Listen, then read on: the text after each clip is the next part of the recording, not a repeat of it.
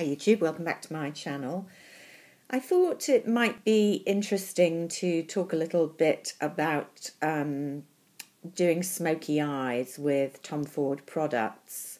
Partly because I had a little dip into my makeup vault and pulled out um, this blast from the past, which was a Tom Ford for Estee Lauder eye gloss called Black Amber which is about 10 years old now. I haven't had it for 10 years. Um, I sourced it on eBay some years afterwards. Um, but I noticed that the eye glosses are kind of making a bit of a comeback, not with Tom Ford, but um, for example, the MAC Cinderella uh, collection that I was having a little look at. I didn't buy anything from it, I wasn't overly impressed. Has brought out um, a couple of eye glosses. And I also wanted to kind of compare it with the um, Tom Ford Spring 2015 cream colour for eyes, which of course is quite a different formulation, but um, kind of maybe being used in the same way. I don't know because I haven't really got to grips with the best way to use this. So um, I guess uh, having a little look at the uh, Tom Ford Black Amber eye gloss. This was um, made back in the day before Tom Ford really got into um, manufacturing cosmetics on his own line. He used to do um, runs for Estee Lauder, who of course own the Tom Ford um, companies. And uh, so this is a kind of mishmash between Estee Lauder and Tom Ford, and you can see the very typical kind of Estee Lauder um, compact that they do for all sorts of products. Um, and this one is a black eye gloss. And uh, you can see, although I've had it for quite a while, and I think this product was initially released in about 2005, 2006. We're talking about a decade ago. Um, it's still good to go. And uh, although I don't use it very regularly, I have used it from time to time, and you can see um, barely made an impression and it's a kind of interesting, almost lip gloss texture. It's very greasy, very slidey, um, and very dark pigmented.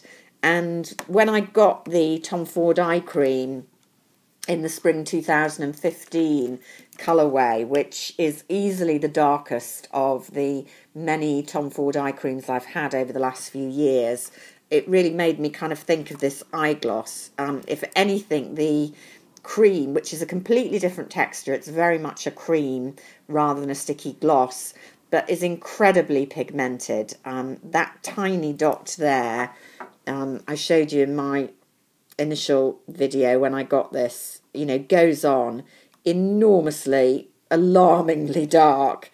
Um, I mean, you can smudge it out, but it takes quite a lot of pressure and is quite difficult to smudge out tidily, which I suppose is the point um, with this product. Now, there's the original eye gloss, which you can see ends up looking terribly similar, although um, they're quite different consistencies.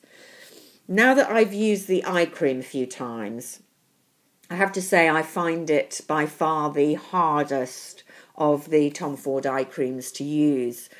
Um, I'm used to smudging them on with my fingers and finding them very easy to apply, either to wear as a simple eye on their own or I like to use them as a base for Tom Ford shadows.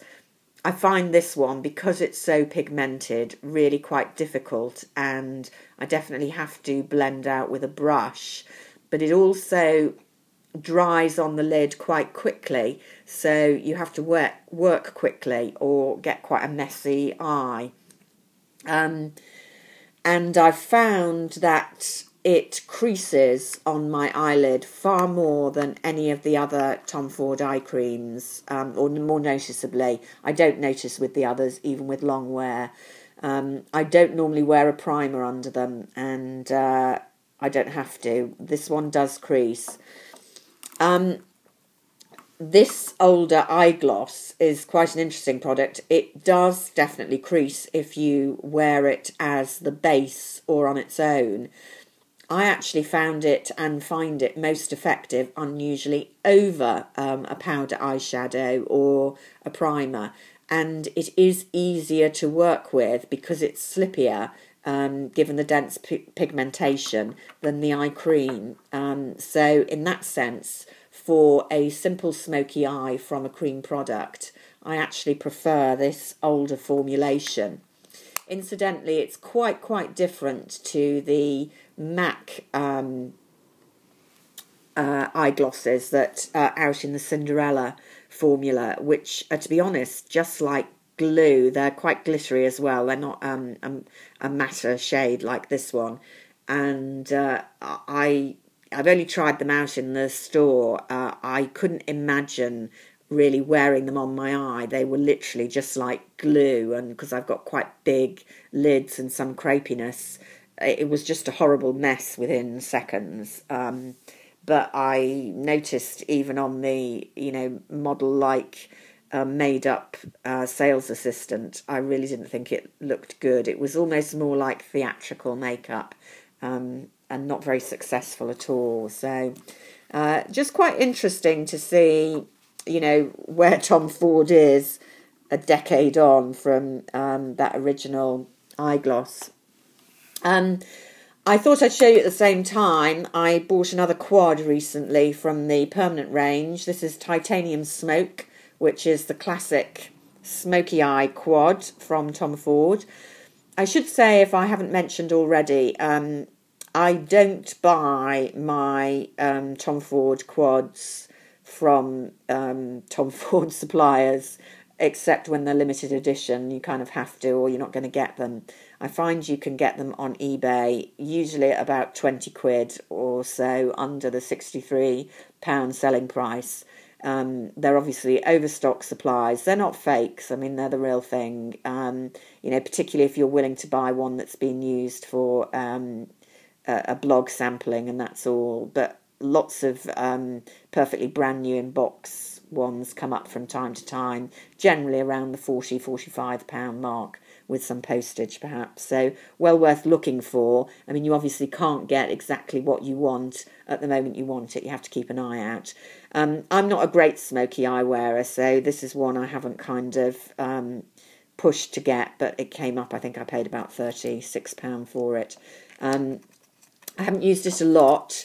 Uh, I really like this grey shade, which is a real dove grey. Looks a bit luminous, but not too shiny. Really nice smudge out. And even the glitter here, I'm not a great glitter fan. This um, goldy glitter here is quite interesting, very pigmented, real kind of disco shade. Um, gives a real kind of fairy dust. I think that's uh, showing a little bit there. Um, quite nice to pat on for the evening over the other shades.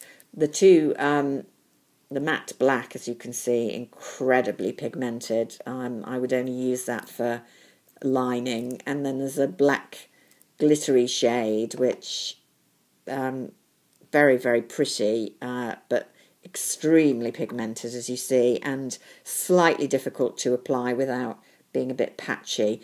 So this isn't a palette that I would use a lot simply because I'm not um, a huge rock chick. I just can't carry the, the look off with my um, blue eyes. But um, if you like a smoky eye look, you know, this palette would be a real must.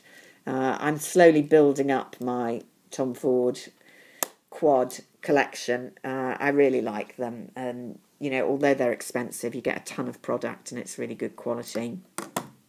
I haven't been wearing my duos a lot yet because I they're not terribly spring appropriate, I don't think, but I am enjoying them. the The whole layering concept that um, you'll have seen in a ton of videos um, makes the smoky eye much more wearable, um, and these overlay shades, really pretty over other products. Um, if you're into the layering, uh, I think the plum one is the most wearable, although I like the jade as well. Um, so I think, you know, if I could only have one of the products, I would look at the quads over the duos because they're so much better value. I mean, I think these are forty something pounds just for the two, but you know the whole layering is a an, an interesting concept.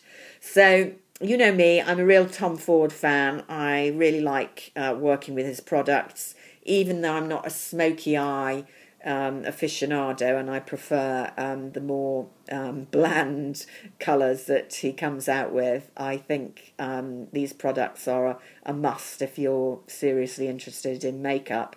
I would say that I think this um, spring 2015 cream eyeshadow it's still available. You can get hold of it I have to say, unless you're a real rock chick girl, um, this is my least favourite of all his eye creams, and I do think it's quite difficult to work with.